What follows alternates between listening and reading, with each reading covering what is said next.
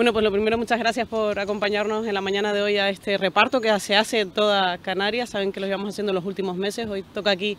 en Santa Cruz y además en un lugar que para los y las socialistas eh, nos trae muy buenos recuerdos. Aquí se firmó el Pacto de las Flores hace ahora prácticamente cuatro años, ese día que cambió la historia de Canarias, que hizo que Ángel Víctor Torres sea hoy presidente del Gobierno de Canarias y lo que venimos a decir hoy a las calles eh, de Santa Cruz con la alcaldesa Patricia Hernández y con Juventudes Socialistas de Canarias es rendir cuentas en materia de políticas de juventud a la ciudadanía, cómo ha cambiado las políticas de juventud desde ese día aquí en el Parque de las Flores de Santa Cruz, en este reloj a hoy. ¿no? Y, y tenemos datos que son claros y que son objetivos, que tienen que ver con el incremento en las becas que tienen que ver con el acceso a la primera vivienda, que afecta principalmente a los y las jóvenes de Canarias, o que tiene que ver, por ejemplo, con la tasa de abandono escolar que se ha reducido en 10 puntos. Creo que el compromiso del Partido Socialista con los y las jóvenes de Canarias es claro, es rotundo y estamos seguros porque vamos a seguir gobernando Canarias, que lo vamos a seguir siendo en los próximos años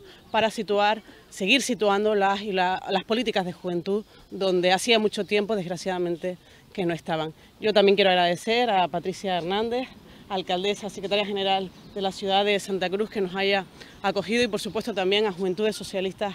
de Canarias reivindicativas, combativas y siempre de la mano del Partido Socialista para hacer llegar mejor la información y las políticas a la, a la ciudadanía.